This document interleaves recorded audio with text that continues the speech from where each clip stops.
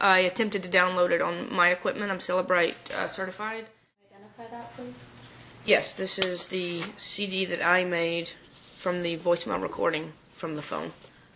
And to your knowledge, has that been tampered with or altered in any way? Um, not since I last listened to it last week, no.